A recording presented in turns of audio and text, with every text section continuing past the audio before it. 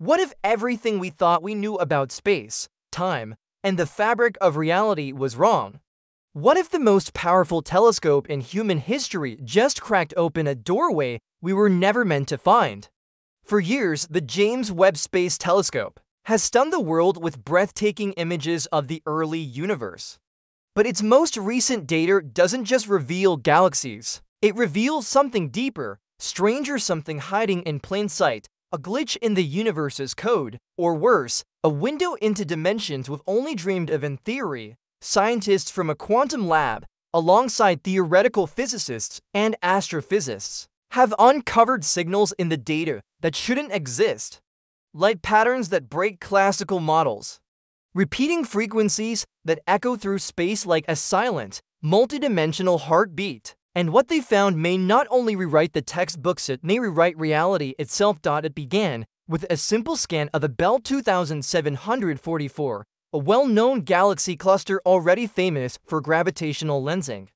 But as the Webb telescope processed the light, streaming from this distant region, something stood out behaving in ways it shouldn't. Faint distortions shimmering at the very edge of detectability defied all classical expectations.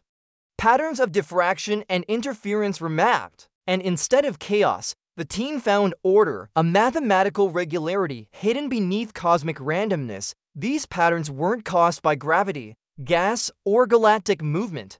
They were too clean, too symmetrical, the scientists thought it was. A glitch, but when the same anomalies appeared across multiple fields of observation, the narrative changed. Something was weaving threads of light between galaxies, something intentional, something structured, unable to explain the data through traditional physics. Researchers turned to an experimental partnership with quantum AI. By running the Webb data through quantum-optimized algorithms, they hoped to detect patterns to settle for classical computation. What they found chilled them, the anomalies weren't just consistent.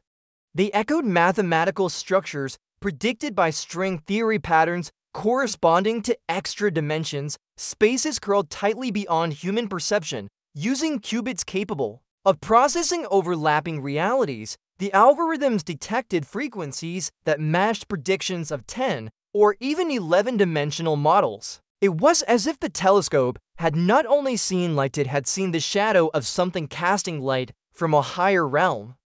Suddenly, theories once considered unprovable began to whisper back in numbers and geometry. It was no longer speculation. It was empirical suggestion. Lisa Randall from Harvard added a critical insight. What if some of these hidden dimensions are not closed?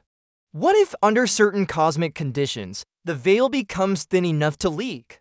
The idea that gravity is weaker because it bleeds into other dimensions now had observable support, the Webb's. Distorted data wasn't just a curiosity, it might be proof that reality is layered in. We finally peeled back the first sheet. The light traveling from galaxies billions of years old wasn't moving through empty space. It was moving through folds, and in those folds, something was refracting it, twisting it not randomly, but with symmetry. A cosmic fingerprint. What if the universe is not just expanding, but resonating? And what if we're the only species that has just now become capable of hearing that resonance? Here's the most unsettling part. These aren't just cosmic curiosities. If string theory is right, then you, your body, your thoughts, your voice are all made of vibrating threads of energy woven across multiple dimensions.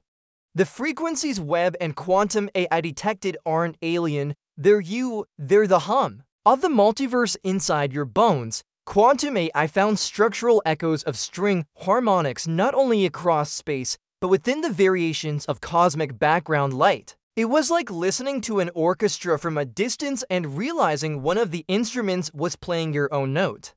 The implications are staggering. Your consciousness, your choices, might ripple into hidden layers of spacetime.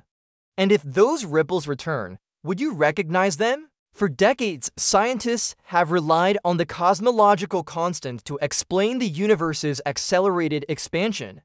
It was the mathematical patch Einstein's biggest blunder turned into a cornerstone of modern cosmology. But Webb's latest readings from deep field images showed irregularities in the redshift of distant galaxies too fast, too inconsistent, to chaotic to fit the existing models. In other words, the expansion of the universe isn't just speeding up, it's behaving like a living system fluctuating, surging, pausing. Some physicists now propose that what we call dark energy isn't a force, but a signal. A hidden pattern of movement that reacts maybe even responds to observational pressure. What if by observing the edge of the universe with the James Webb, we're not just measuring it, but interacting with it? For years, dark matter has haunted astrophysics a ghost that holds galaxies together without ever showing its face. But Webb spectrographic imaging pierced through galactic halos with more precision than any tool before it, and what it found didn't match expectations in several clusters, the mass was just missing. Gravity didn't behave as predicted, but instead of confirming dark matter, the data suggested something more radical, gravity itself might be shifting across dimensions. The force we call gravity could be leaking bleeding into hidden layers that Webb's eyes were not meant to see, but somehow accidentally did. It's not that dark matter doesn't exist.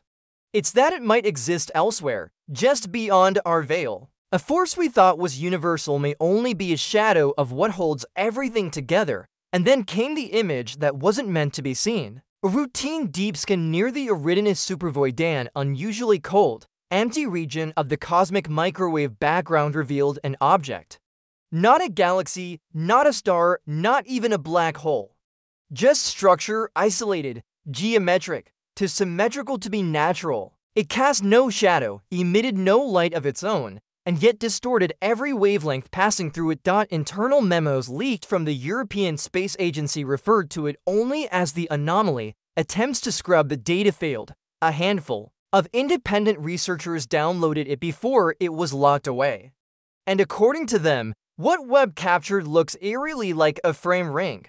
A construct, possibly a lens or possibly a doorway. And the most disturbing part, it wasn't there in previous scans, Finally, the most controversial act of all, the theoretical papers that no journal dared publish.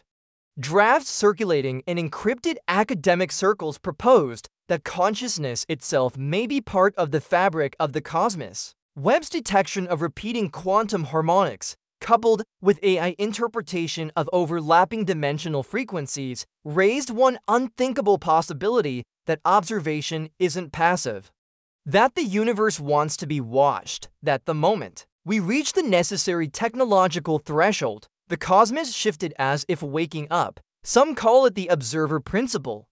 Others call it something older, but one thing is clear. These final images from James Webb aren't just showing us the past, they're showing us to ourselves, from the outside in. As if something or someone is watching the watchers, the James Webb Space Telescope was built to look deeper into space than any human instrument before it.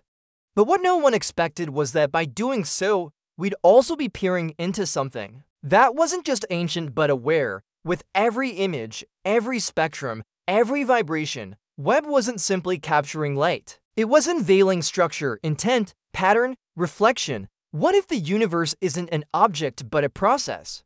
What if reality is not built for us to understand, but to respond when we try. From collapsing constants to invisible dimensions, from shifting gravitational laws to geometry that doesn't belong. Webb didn't just observe anomalies that triggered them. It may have crossed the final threshold in observational science, revealing that the universe isn't indifferent, it's reactive, maybe even interactive. Dot, and perhaps the greatest truth of all isn't that we've broken science. It's that science finally broke us our pride, our certainty, our illusion of control. Because in our pursuit to know everything, we may have just shown the cosmos that we're ready to be known.